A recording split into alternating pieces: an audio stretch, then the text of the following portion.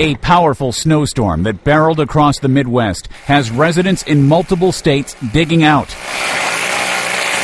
The storm dumped 7 to 9 inches from eastern Kansas into central Missouri before tapering off. St. Louis got about a foot, and some parts of central Missouri received 6 to 10 inches by Sunday evening.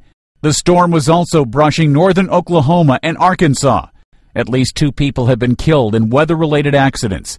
About 100 flights were canceled at Lambert Field in St. Louis. The storm is expected to weaken as it moves into Pennsylvania late Sunday and Monday. Before it exits off the coast of New Jersey Monday night, it could dump 2 to 4 inches in the Garden State, as well as Delaware, northern Maryland, and southern New York. Ed Donahue, The Associated Press.